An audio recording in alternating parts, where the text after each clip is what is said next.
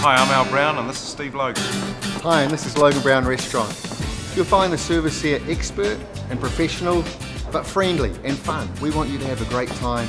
Most importantly, it's all about the experience you're after, and we're going to deliver it.